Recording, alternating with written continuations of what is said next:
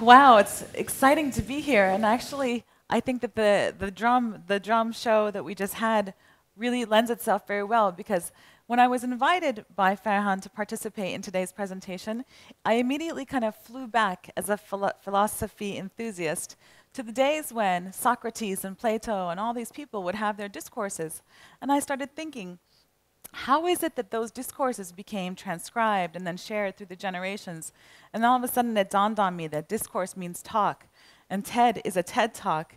And actually, this is the new way in the new generation of all those discourses that happened um, through, throughout history. And we're a part of it, and it's very, very exciting to be here. Having said that, I had to struggle. I really did struggle with um, the topic that was given to me, the route to social innovation.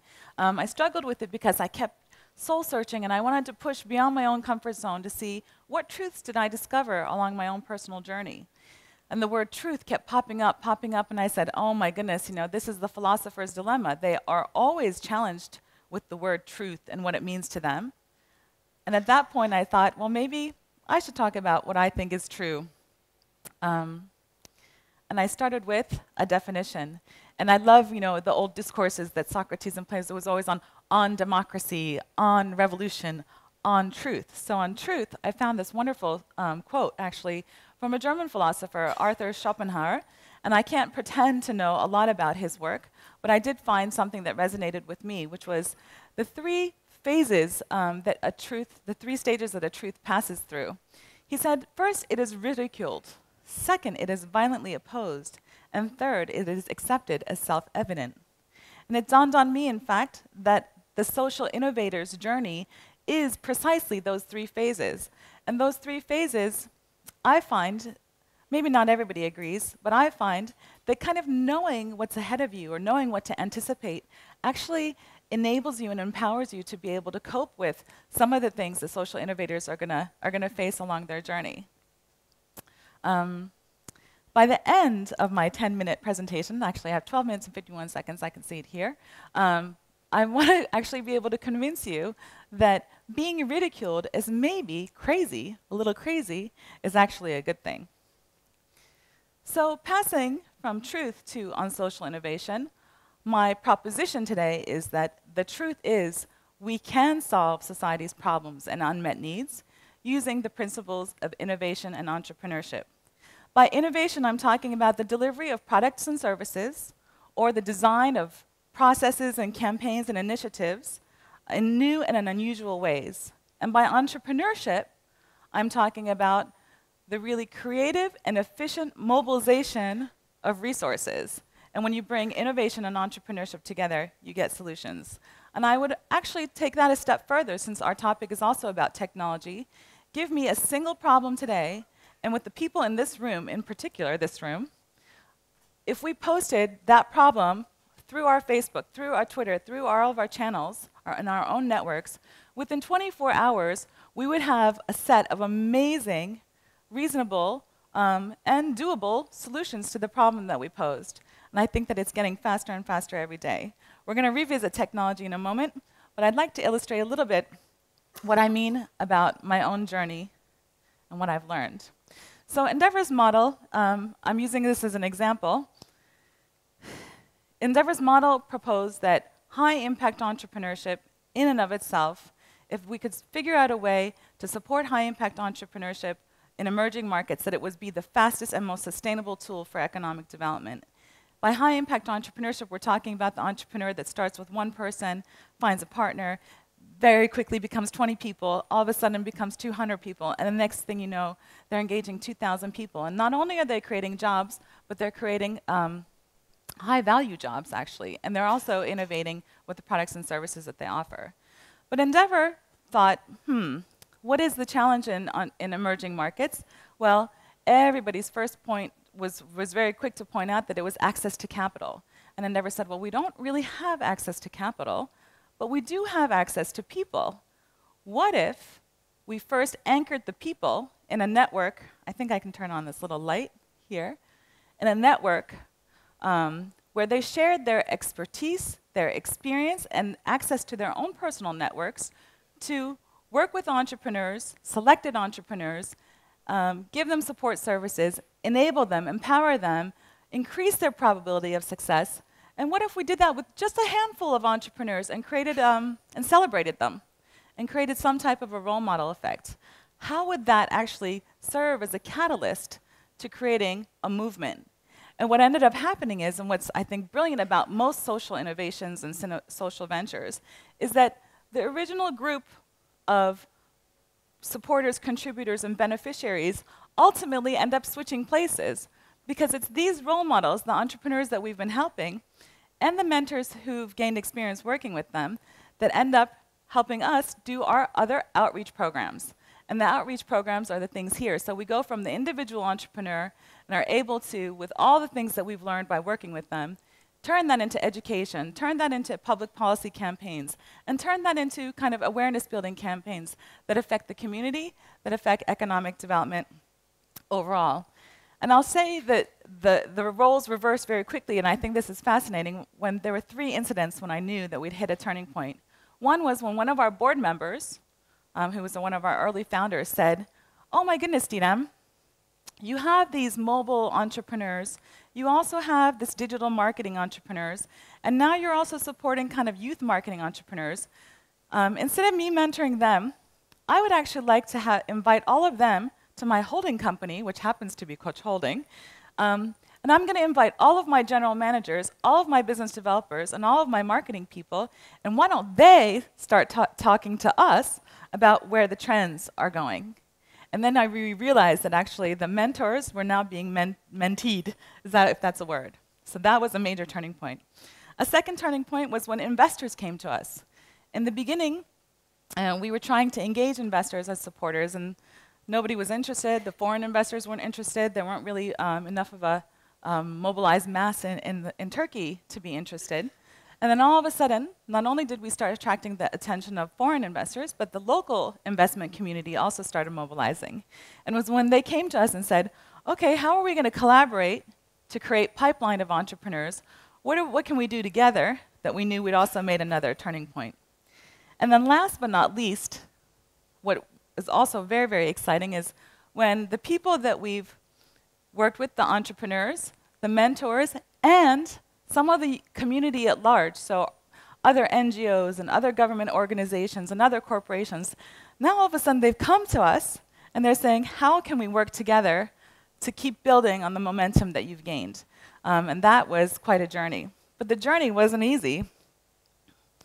It wasn't easy, and in fact, the journey started way back in 2003 when I convinced exactly three people that, that entrepreneurship was something that we needed to invest in in Turkey.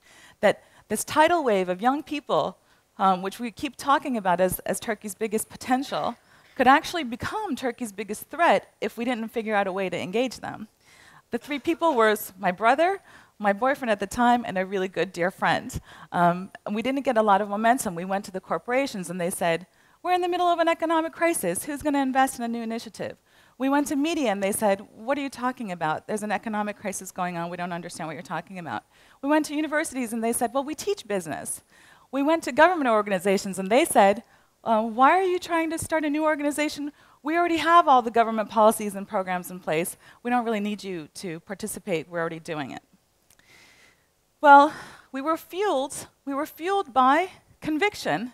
And over the next three years, it took us three years to develop a critical mass of supporters.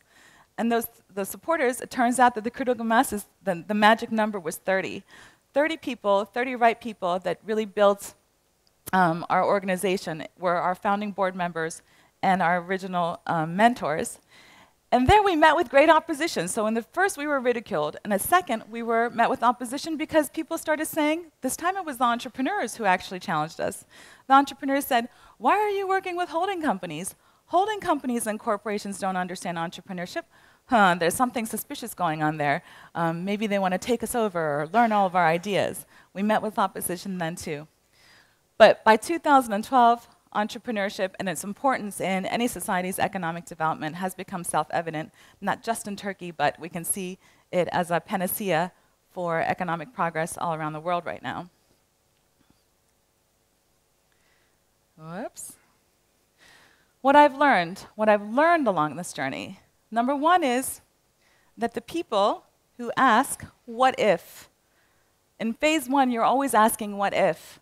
What if we did it this way? What if we did it that way? The innovation really starts happening there. Whenever you're trying to tackle um, any type of a problem or a challenge, it's the innovator who embraces pivoting that actually keeps persevering. And by pivoting, I mean, I actually don't think that entrepreneurs or innovators, for that matter, think in terms of success and failure.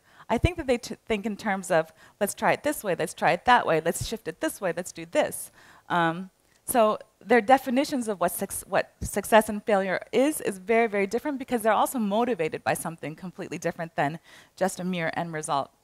Phase two is that good ideas are, are contagious. Once you've been able to attract enough, enough people, enough of the relevant people, let's say, these are the people you know that you've, uh, you've infected them with your idea. Uh, when they start asking, how about if we tried this, and they start contributing to your idea. And then last but not, not least is um, when we get to phase three, which is the co-creation phase. This is the phase that I just described um, when all of our community people started coming to us and asking us to create projects and programs together. The co-creation phase, this is when people start asking us what's next. And I think that that's um, a major lesson all along the way.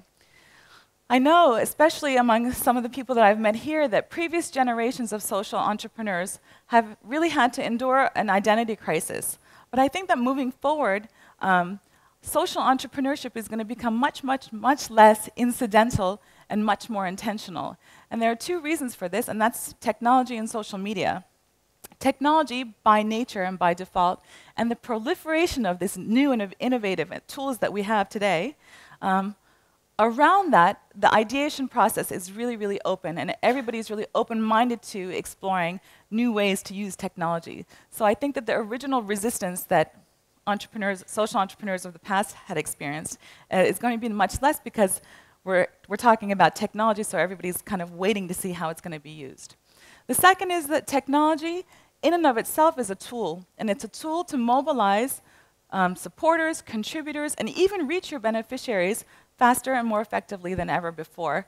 So as that tool, I think that ideas are going to go through these processes and be able to test and pivot and change and modify and evolve much, much faster than we've been able to do in the past. So my advice, my advice to those of you in the audience, and I, am assuming that you're here for a reason, um, is to listen to what stirs you. What stirs you in terms of inspiration? Inspiration can be something that is completely negative. It can be something that you're really, really frustrated by, and you just really need to change it. But it can also be something really positive. It can be this amazing experience or this amazing uh, epiphany that you've had that you really want to share. So listen to yourself, listen to what stirs you. But it's not enough just to be inspired. I find that you also have to have some type of a relevance to you in order to be able to, to be motivated to act. So then it's exploring what it is that you can do about it and what you can contribute. And believe me, you can contribute a lot more than you think. And everybody can contribute a lot more than they think, whether it's a housewife or um, a professional executive um, or children even um, can, can contribute in ways that maybe we're not, we're not used to seeing, that we can just kind of push our own boundaries and, and get creative there. Those two things together, inspiration and relevance, is what compels people to act. And then when I'm talking about acting, I actually want to break that down too. Leadership is definitely, definitely a prerequisite component of progress. However, I think that participation is just as important as leadership. So when you're thinking about yourself as a social innovator, you don't have to do it by yourself. You can be a champion of something and be a social leader, but you can probably um, effect just as much change and be just as much of a part of a revolution by being a participant as well. And in fact, I would challenge that the person who kind of has the courage to lead comes out, is ridiculed, appears crazy, it's the second person and the third person and the fourth person that stands by that person that has to take uh, a bigger amount of, takes a little bit bigger amount of courage and, and confidence. That validation itself is really going out on a limb. And last but not least, of all the quotes, of all the quotes, so the founder of Endeavor actually is Linda Rottenberg. Um, she's, she's also the CEO. And from time to time when we're, when we're talking to entrepreneurs, she'll pull them aside and say, Have you, has anyone ever called you crazy? You know, if they haven't called you crazy, then maybe you're not thinking big enough. we actually like crazy. Today, you're going to hear some amazing stories, and I have zero doubt that each and every one of them has been considered crazy at one point in time. And I'm sure we'll have a chance to hear their stories as well. But you're also going to see some of the amazing things that they've achieved along their journeys. And then I'm going to go back and ask you to ask yourself what do you think is true? Is it true that social innovation can and uh, address the, the challenges and issues of our generation? And I think that you'll find that part of that answer is you. Thank you very much.